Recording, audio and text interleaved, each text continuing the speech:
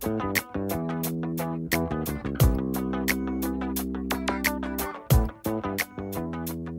your netbooks and care them well as you take them to school.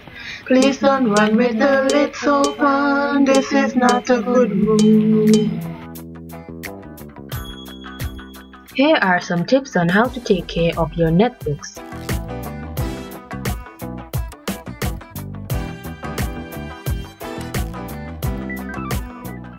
Always carry the netbook in the sleeve handle it comes with.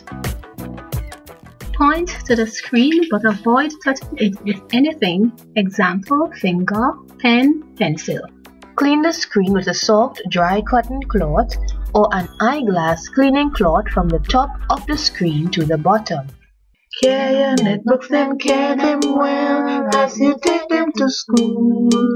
Please don't run with the lids open, this is not a good rule.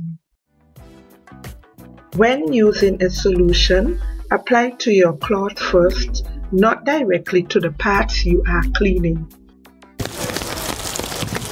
On rainy days, protect the netbook in a plastic covering before putting it in your bag. Children go to school and learn well. Otherwise, later on in life, you gon' catch red hair.